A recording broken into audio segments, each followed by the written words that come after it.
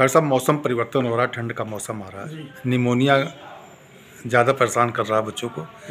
कैसे फैलता है इसका कैसे बचाव किया जाए? ये जितने भी पैथोजेनिक एजेंट है लाइक बैक्टीरिया वायरस फंगस इनसे फैलता है। और इसमें बच्चों के बचाव के लिए आसपास में इन्फेक्शन न फैलने दें। आसपास में बच्चों को कोई छीके नहीं। बच्चों का इम्यून पावर स्ट्रांग रखें। इसके लिए ज़रूरी है ब्रेस्ट फीडिंग बच्चे करते रहें या उनके पेरेंट्स माँ जो हैं ब्रेस्ट फीडिंग कराते रहें, बच्चे को इग्नोर न करें।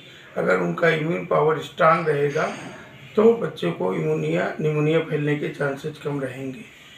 पर्सनल हाइजीन को मेंटेन करके रखें और पब्लिक हाइजीन को भी मेंटेन करके रखें। ऐसी जगह पर बच्चे को मत जाने दें या मत ले जाएँ जहाँ पे इन्फेक्शन फैलने की आशंका हो।